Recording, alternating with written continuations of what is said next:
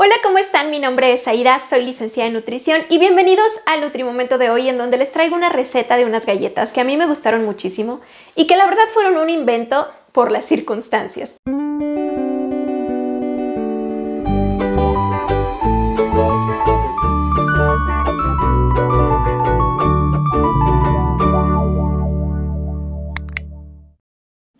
Ustedes saben que por mi hipoglicemia reactiva yo evito lo más que se pueda el ingrediente azúcar.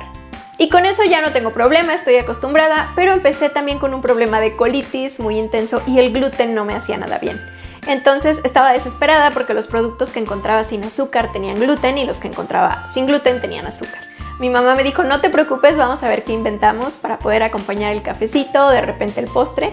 Y la verdad me gustaron bastante. Yo sé que más de alguna persona va a estar en mi situación y espero que les sirvan y que les gusten muchísimo.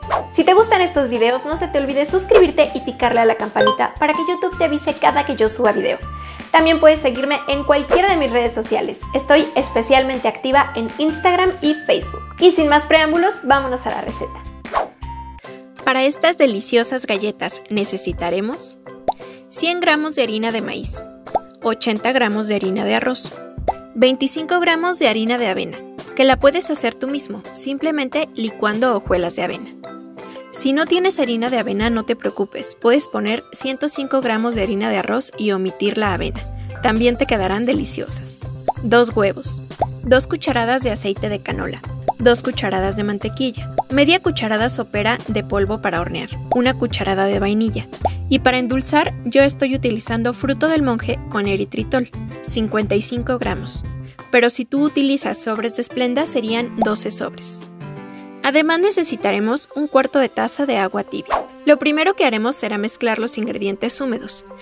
Así que coloque en un bowl los huevos, la vainilla, el aceite y la mantequilla derretida. Una vez mezclados, agregamos el edulcorante para que se disuelva muy bien. Seguimos con los ingredientes secos. Con ayuda de un colador o un cernidor, vamos a cernir las harinas para que queden finitas. Empezaré por la de maíz.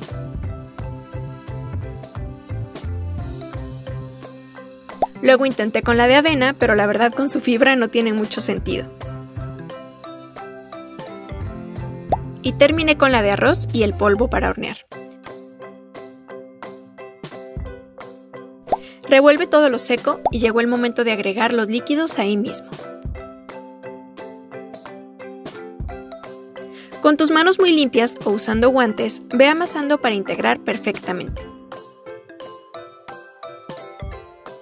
En este punto es donde agregué un cuarto de taza de agua tibia pero agrégala poco a poco para que le vayas calculando y la masa quede con la consistencia ideal.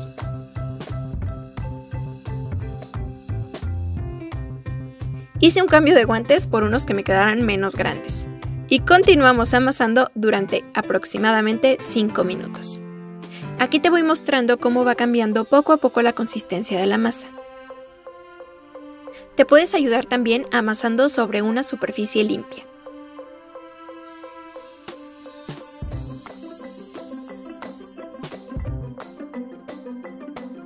Una vez que tenemos la masa lista, procederemos a taparla con una bolsa de plástico y la dejaremos reposar por 20 minutos. No olvides taparla porque esto evitará que se reseque. Una vez transcurrido el tiempo, verifica la consistencia, solo para comprobar si hace falta agua. Pon a precalentar tu horno a 180 grados durante 20 minutos. Ahora viene la parte divertida, que es formar las galletas. Toma una parte pequeña de la masa y forma una bolita. Deja tapado el resto para que no se reseque. Y con ayuda de una bolsa de plástico y un rodillo, aplánala tratando de que quede el mismo grosor en toda la superficie. Yo estoy dejando aproximadamente 3 milímetros de grosor, y eso es lo que te recomiendo.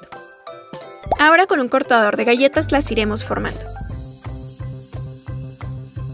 Colócalas en una charola previamente engrasada con un poquito de aceite o mantequilla. Continúa con el resto de la masa, sin desperdiciar los bordes.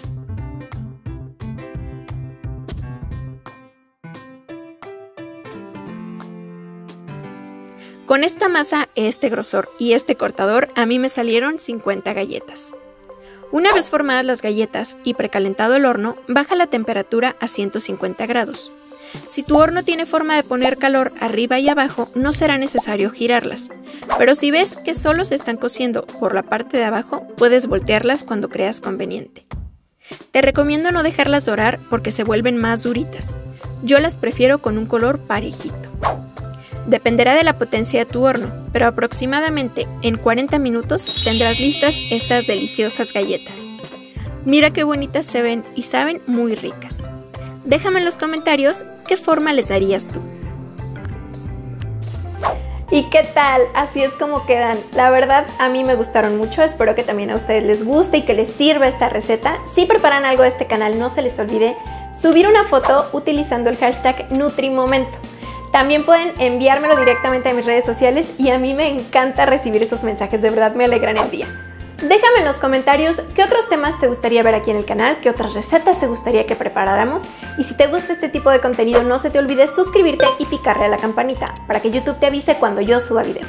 No se te olvide también seguirme en todas mis redes sociales, regalarme un me gusta y compartir este video con esa persona que tú creas que le pueden gustar estas galletas. Muchísimas gracias, que estén muy bien y que Dios los bendiga. Nos vemos en el próximo Nutrimomento. ¡Chao!